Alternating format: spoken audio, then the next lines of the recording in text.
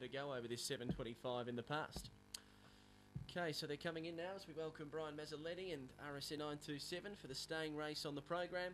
It's up over the 725. This could be quite a, a greenly ran race. A few of them have done a, a couple of things wrong in the past. Green light set to go now, race number four. They're ready.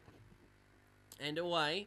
Bro's Little Gem jumped well, as did Hedonistic, and they're going to share the lead. And Bro's Little Gem went straight on by, raced out by four to Hedonistic, up to third Galloping Flash.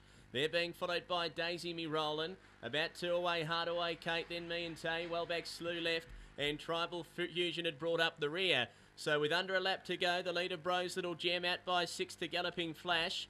They're by three to Daisy Me Rollin. Running on now, me and Tay getting up nearer the rail as they close on the leader. Followed Hedonistic, Slew left.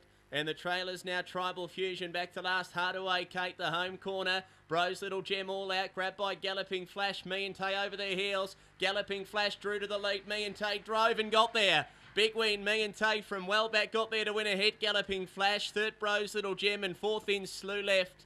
Followed by Tribal Fusion, Daisy Me Rollin'. Then Hardaway Kate and Hedonistic last in. It's 43-10 for me and Tay.